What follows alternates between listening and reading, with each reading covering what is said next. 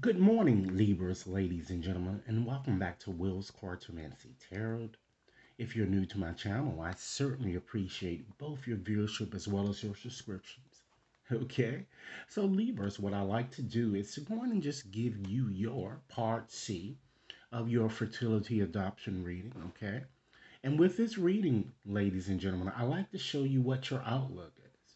I'm going to examine your past and see what you may have experienced and see what the future may hold or entail for you in terms of pregnancy or, in fact, adoption. Rest assured, Libras, that this reading, as with any reading, may not and will not resonate with each and every one of you out there. But for those for whom this reading is meant, I certainly hope it offers you the information that you're seeking so that you can make your best informed decision. Okay? Today, I like to use my petite Lenormand's deck in order to convey your reading. If it resonates with you guys as we go through it, be sure to give it a big thumbs up. Share it with others to whom you like to, to share. And be sure to just take a few seconds, Libras, and just tap that subscription button. Okay? Libra, once again, I certainly hope that you're enjoying your birthday period. Okay? So, Spirit, what messages would you like for me to share with Libra in regards to the, their fertility issue? What messages would you like me to convey here? What messages, Spirit? What messages? Okay, Libras, let's start off by just examining a few cards that fell to the bottom of the deck here. We have the Lady, okay?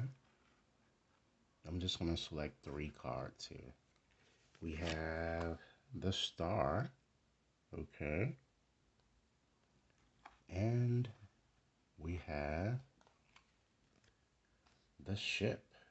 Wow, Libras. Okay. So, I'm certainly seeing someone well known involved in your situation here. I see you, it looks like with these, what these cards are indicating here Okay, I kind of see you feeling as if your ships are coming in with, you know, with these three cards, ladies and gentlemen. I see a very auspicious turn of events for many of you. And I see that many of you appear to be very optimistic about your chances. And rightfully so, because the cards show you either conceiving or, in fact, adopting. And they show a very, very successful pregnancy this time around here that I'm getting. Okay. There's also, it seems that is, is a pos- strong possibility that the, a female might also assist you during this time, or perhaps you may have a, doc, a female specialist who might come into play here, okay, or, or who might prove to be important during your process, okay. I also see, you know, for many of you, I see you recovering if you've been previously injured and you're just being hopeful and you're wishing and you're trusting, I'm getting, for the best here with these cards, okay? So, I'm kind of feeling to, you know, very strongly, ladies and gentlemen, that in fact, changes are in fact coming, okay? You can expect that. For some of you, you might even be relocating. Or if it's not relocating, you might decide to change doctors I'm getting. Okay, so that your dream of adoption or pregnancy, or you may go to a, another adoption agency, all of that is inclusive of these cards here. All right. So now let's go on and just take out a few cards, ladies and gentlemen, to examine what you might have already experienced in your past or what you might currently be experiencing here. Okay, I'm going to select four cards here we have. We have the cross, ladies and gentlemen. So this, of course, is a very type, is a hardship type card. Okay. We have, wow, we have the fox. Okay. And we have the mountain. Let's select one more card here for your past. And we have the house. Okay.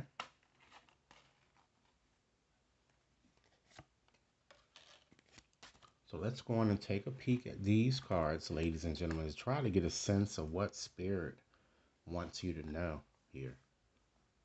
Okay. As soon as I picked them up, I felt a lot of pain. Okay.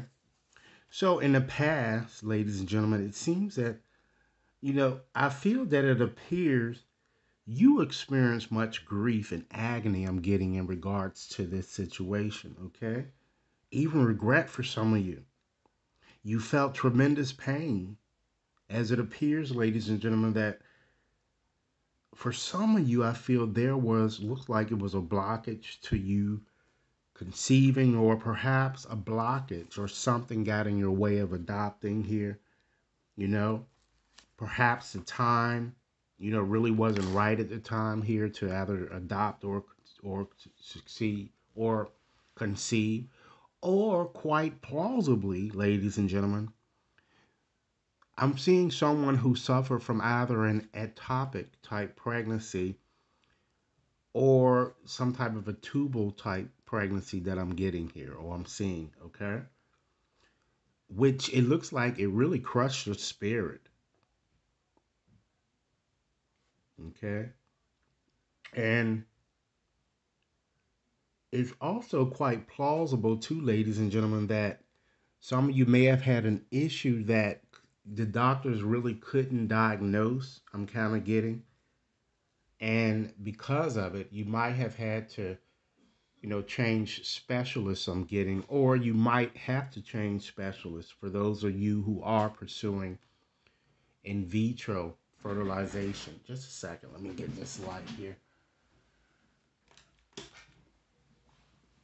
pursuing in vitro um, fertilization here, okay? And, and I feel that this whole situation here kind of caused you to, to feel a bit stuck. I'm getting. And this seems to be due to your sadness, I'm getting. Many of you kind of spent time alone, or either this caused you to, to spend a lot of time in bed, I'm getting. Okay?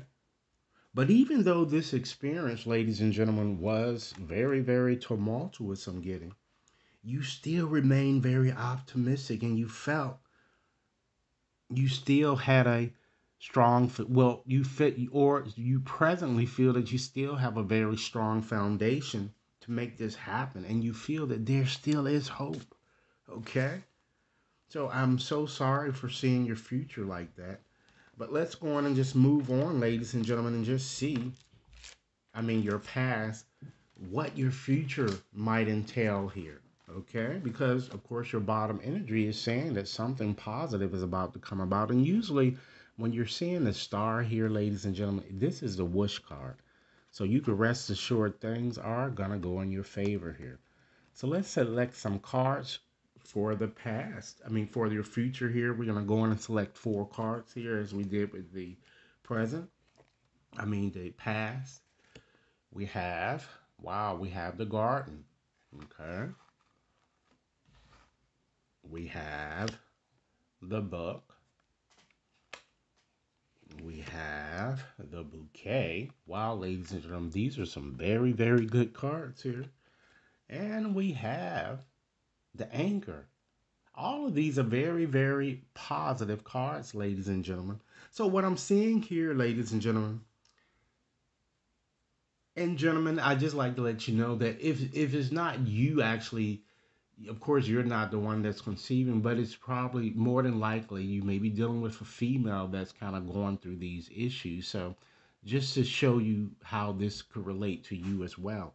But in any event, I'm seeing here what's coming up for you guys in the future. I'm seeing a natural birth, a birth with no complications. I'm seeing you guys carrying this child to full term. I'm also seeing too, because of perhaps the problems that many of you had in the in the past here. I'm seeing that some of you are even taking classes, or you're just, you know, just just buying all these books to kind of help you learn more about your issues and, to include in vitro fertilization for some of you. Okay? I'm seeing you're having a very beautiful child, ladies and gentlemen. One that who is very intelligent, one very reliable, very beautiful child. Okay, but one who is very energetic and very active here. Okay, I'm also seeing too that your mother, whether you know it or not, she's gonna have a. I see her having a surprise baby shower, or I'm seeing a female doing that for you or planning that for you. Okay, so everything certainly looks beautiful. I also see that some of you might even work with children here. It seems like the winter months are to be the most promising months for you guys. I'm kind of getting here. Okay, so this is what I have for you guys in the way of your fertility reading. Okay, what I like to do now is just to leave you with one message from Spirit. Okay, one message using my postcards here to just give you a message to more so empower you through this process. Okay? So, Spirit, please give me one more message to share with Libra in regards to their situation. Libra, this reading is valid until the end of this year. Again, be sure to give this reading a big thumbs up, share it with others to whom you think might benefit, and take a few moments to press that subscription button. Okay? So, Spirit, what final message would you like for me to convey to Libra? What final message? Okay, give us a good one, Spirit. All right, let's see what it says. All right.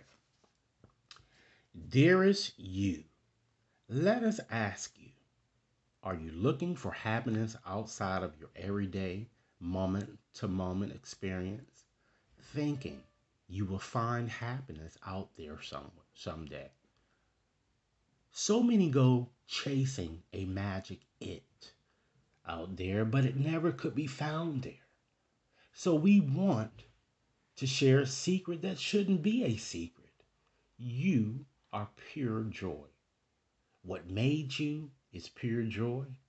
And every time you wake up and even when you sleep, you have joy waiting to be expressed inside you.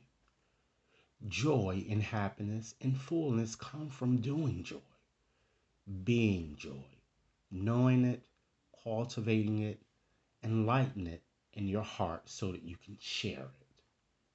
You must know this so when the time comes, you will be fully free, and your joyful being and actions will turn you into a beacon of starlight.